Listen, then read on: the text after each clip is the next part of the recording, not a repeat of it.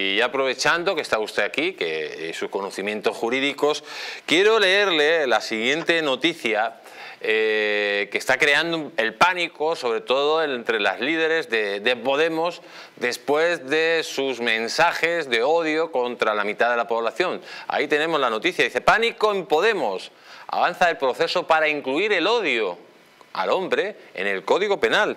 Dice, avanza el proceso para condenar la misandria. Se trata de la aversión a los varones, que podría llegar a ser penada por la ley después de que la secretaria de Estado de Igualdad, Ángela Rodríguez Pan, lanzara unas graves acusaciones en las que aseguró que los hombres son violadores y desgraciadamente en nuestro país lo son bastante. Sus constantes mensajes de odio contra los hombres llevaron a que el diputado del Grupo Mixto, Pablo Cambronero, presentara una proposición no de ley para que el odio al hombre o varón por el hecho de serlo sea incluido de forma expresa en el Código Penal. Es más, exige que se añada un subtipo penal agravado para personas que ostengan cargos públicos en clara alusión a la número 2 de Irene Montero. Finalmente también pide que se incluya como delito de odio la misoginia, aversión a las mujeres, ya que el artículo 510 del Código Penal en vigor no recoge ninguno de estos conceptos. A pesar de reconocer que se le pusieron una, manera, una marea de dificultades para evitar que la PNL saliera adelante, Cabronero celebró el pasado 29 de marzo que ha conseguido registrar esta iniciativa para reconocer expresamente la misandria como dentro de los delitos de odio. Eh, ¿Qué opina usted? Que se reconozca el odio a las mujeres como un delito de odio y el odio a los hombres. Tendría que estar medio gobierno del Partido Socialista directamente condenado porque su mensaje es contra los hombres, pues bueno, pasan cualquier tipo de duda de que son auténticos mensajes de odio. El tema es de una complejidad jurídica enorme. Eh, yo voy a tratar de explicarlo en dos minutos y, que todo el mundo lo entienda. Partimos de la base de lo que parece el artículo 510 del Código Penal, que fue modificado por la Ley 15 eh, barra 22. Como sabemos, el tipo castiga a los que públicamente fomenten o promuevan directa o indirectamente el odio a personas, un grupo de personas, si se dan una serie de características es un listado muy amplio y entre ellos pues, se encuentra el sexo, la orientación, la identidad sexual o razón de género. Por tanto, si entendemos estas características... Acérquese un, poquito al micrófono porque se le está yendo la voz. A ver.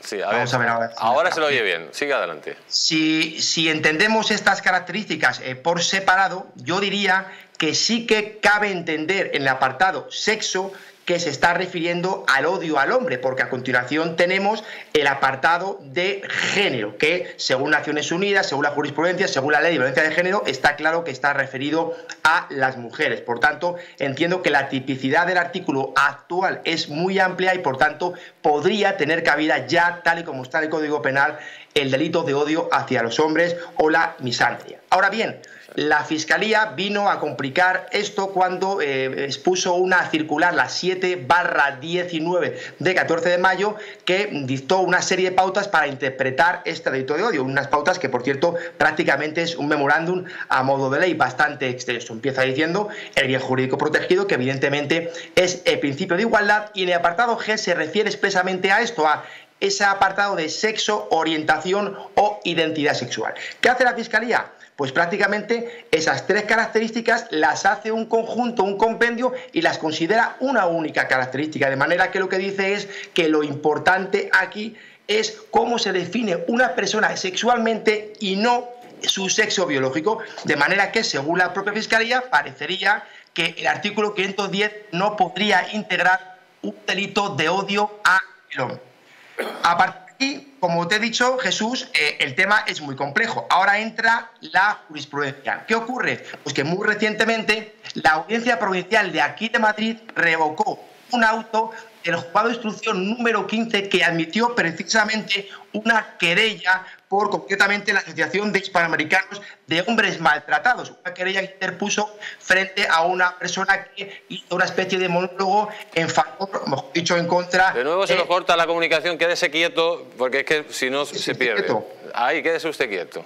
Sí, hizo un, módulo contra la violencia machista y esta asociación se querelló contra esta asociación. Pues bien, inicialmente el juzgado de instrucción sí que admitió a trámite la querella porque entendió que se podía dar un delito de odio contra los hombres en base a ese artículo. ¿Qué ocurrió? Que la Audiencia Provincial de Madrid, ya digo, muy recientemente, lo que ha hecho ha sido revocar ese auto de admisión de la querella, pero no porque no haya tipicidad, es decir, no porque no se considere que no pueda haber un delito de odio basado en ese artículo, sino porque considera que no deja de ser libertad de expresión el hacer una obra literaria, una sátira o un monólogo sobre la violencia de género. Por tanto, a día de hoy, decirte que, en principio, si dos órganos judiciales, aunque por argumentos contradictorios, consideran que hay tipicidad respecto al artículo 510 y un delito de odio a los hombres, entiendo que podría entenderse, a pesar de la Fiscalía, que actualmente el tipo sí que recogería la misandria en el Código Penal. Por tanto,